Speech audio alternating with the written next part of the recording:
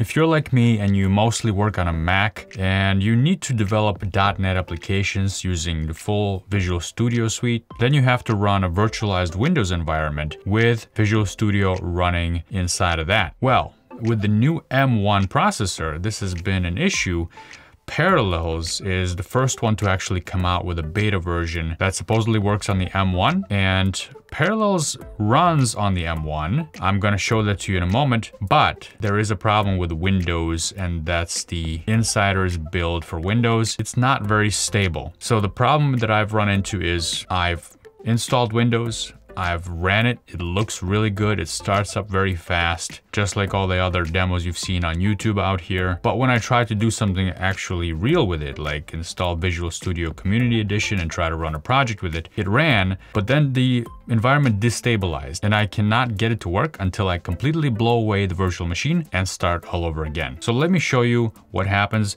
I did set this up again. Hopefully this will demonstrate how quickly the machine starts up, which is really nice. And once everything is worked out, all the little kinks and bugs are worked out, this is gonna be a really nice, smooth experience. But for now, we're gonna get as far as we can with this demonstration, and maybe I'll be back later on when a new build is available. Hey, what are you doing, man? I'm recording a video of Parallels in Windows. Why are you here? Why are you doing a negative review? You never do things like that on this channel. You only show things that work. Okay, it's not a review. I'm just showing people how it works right now. I mean, it's December 2020 and things are still in beta. Parallels is in beta, Windows is in beta. I know, it's not a review really, but things are not quite smooth sailing. I'm just trying to show people that, all right? Okay, fine. I mean, uh, hopefully in, I don't know, a few months when you're sitting in a cafe, sipping your latte. All right. Public cafe, hopefully, fingers crossed. Then all these things will be smoothed out by Parallels and Microsoft and it'll just be smooth sailing. Yeah, I'm sure they'll fix it. But for now, people should know what they're in for if they're trying to use Parallels and Windows together on the new Apple M1 chip. That sounds fair. I'm sure they'll have it fixed and working soon, okay? It'll be working soon, sure. Now, can I get back to what I was doing? Okay, sorry to interrupt. Please don't interrupt me anymore. Proceed. All right, let's hop in. So over here, again, I've got the MacBook Pro 2019 16 inch with 64 gigs of RAM, Core i9 processor, Intel, and over here is just a little MacBook Air with 16 gigs of RAM and the new M1 chip. I do have Windows 10 image. On the MacBook Air, make sure you, if you are going to install a Windows 10 virtual machine using Parallels, you have to get the ARM 64 version of that. It has to be a special image Right now, it's only available using the Insiders program for Windows, which is available for free. You can sign up for it and download it, and uh, you'll be able to get up and running with it. Same thing with Parallels. With Parallels, though, you do need an account. You do need to be a member of Parallels. You need to have purchased a valid license of Parallels to use and then you'll be able to use their beta version. So that's what I have here. Okay, so I have Parallels running on both these machines and an image of Windows 10. So I'm gonna kick these off at the same exact moment. So you'll see how, if it does come up, you'll see how quickly it does come up on the M1. Not promising anything though, so let's try this out. All right, looks promising so far. Okay, so they did both come up. I hit that one a little bit later, so after this experiment, I'm gonna try to do that again so I actually simultaneously hit them at the same time, but it looks like it's about the same amount of speed that it took to bring up the machine. Good. Now, um, there is the Microsoft Edge icon right there. I'm gonna go ahead and hit it on both of these to see how quickly that comes up.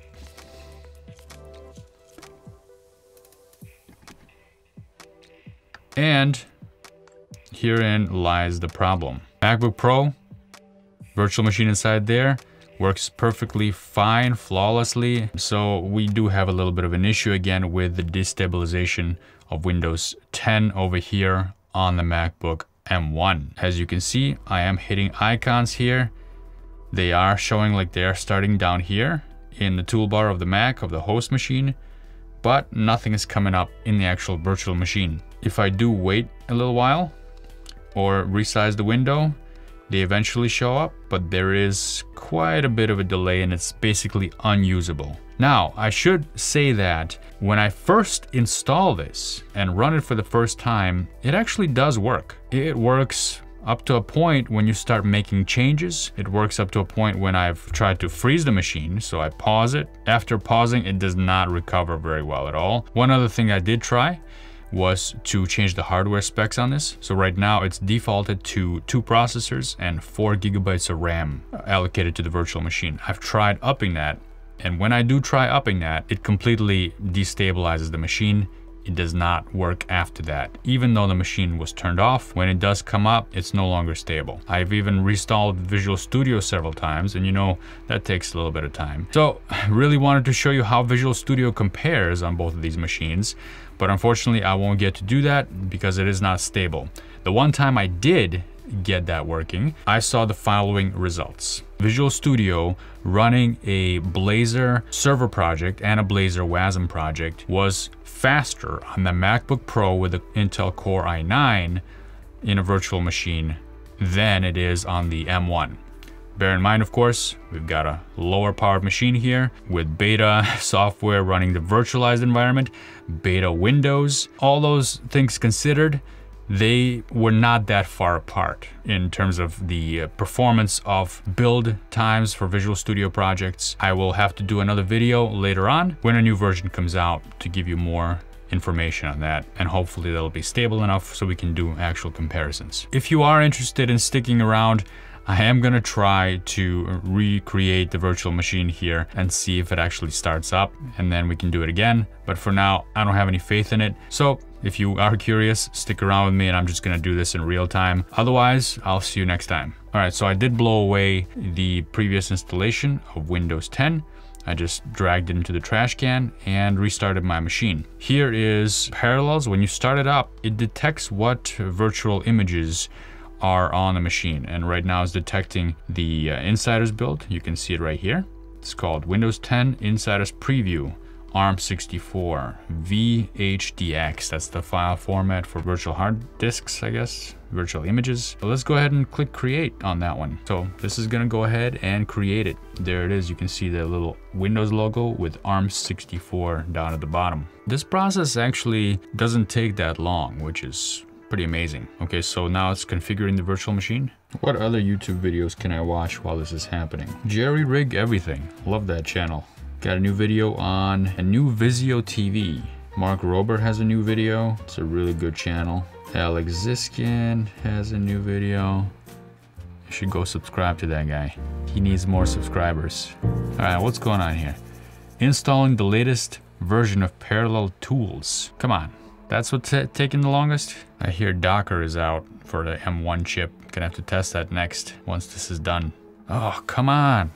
You're wasting so much my film. Okay, Windows 10 is starting up, folks. Look at that. Yes, the infamous little loading spinner for Windows. And there it is. What's going on here? This is interesting. It's just restarted twice. Maybe the natural process of things. Whoa! Your device ran into a problem and needs to restart. We've just collected some info. Folks, uh, I just don't think this is happening today. So I hope it's just me, but really, I don't know. This is a new machine, a new installation of Parallels, and a brand new installation of the Windows image. So not sure what's going on there. Let's try restarting it. Why not? I'm gonna click that big old play button right there and let's see what happens. Okay, that Windows icon is really flipping out and going all over the place. I don't have a good feeling about this. Hey, what, what, what, wait, what? Huh. It's doing something. I'm gonna check to see if I still have the Parallels installation package. And yes, I do. Maybe I'll try that next. It's just blowing away everything, including Parallels, and starting from scratch. Sometimes that's the best way to go. Or maybe this will just work. This is probably the fourth or fifth time I'm doing this in a row. So my faith in this is used to be up about here. Now it's about here. Okay, Windows started. I'm not touching anything. Let's try to start the browser. Hey, look at that. I can actually see a hover animation when I put my mouse over that E. File Explorer works. Good. Internet Explorer or Edge does not seem to be working. Hmm, okay. I do need that. Not sure why that's not working. Let's try that again. Maybe the system needs a little bit of time to warm up. Okay, certain, I mean, the UI seems to be responsive. File Explorer is opening up. Internet Explorer, Edge, sorry, is not opening. Uh, neither is the Start menu. So some things are working, other things are not. I'm gonna try to restart the guest Windows 10 operating system and see what happens here. Are you sure you want to restart? You know what? Let's let's do a shutdown, a full shutdown. Shut down.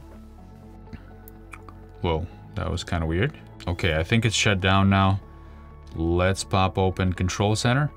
I just want to show you what settings I have here on hardware. Two processors and four gigs of RAM. I could increase this, but I'm not going to because last time I tried that, the system just went nuts and did not work at all after that. So I'm gonna leave that alone, add the default settings, and I'm gonna press play here. And I'm gonna do the same thing over here just so that we have an attempt at one final showdown between these two to see who is faster. Again, this is kind of where we started the video, isn't it? Right over here, where I can press these two at the same time and I'm gonna try to do that now. Okay. Come on. Come on. Okay. So, yeah, see? MacBook Pro kind of beat that one out. I'd have to give it to the MacBook Pro this time, but not by much. So again, I wanted to do a full test with Visual Studio here and the build. Right now, Internet Explorer or Edge is not even coming up for me.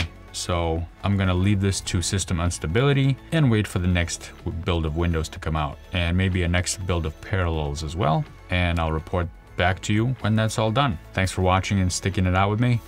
I'll see you in the next video.